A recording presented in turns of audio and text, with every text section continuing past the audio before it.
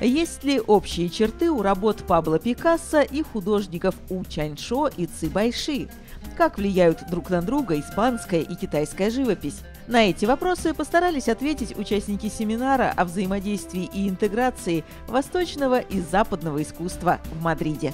Мы хотим укрепить сотрудничество КНР и Испании в сфере культуры.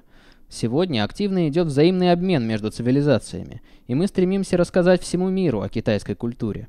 С этой миссией я и приехал в Испанию. В прошлом году Пекин и Мадрид отметили 50-летие дипломатических отношений, а в следующем отпразднуют 20 лет всестороннего стратегического партнерства. Мадридский семинар вошел в число важных мероприятий, приуроченных к этим годовщинам. Участники встречи уверены, что активизация культурных обменов будет укреплять взаимопонимание между двумя государствами.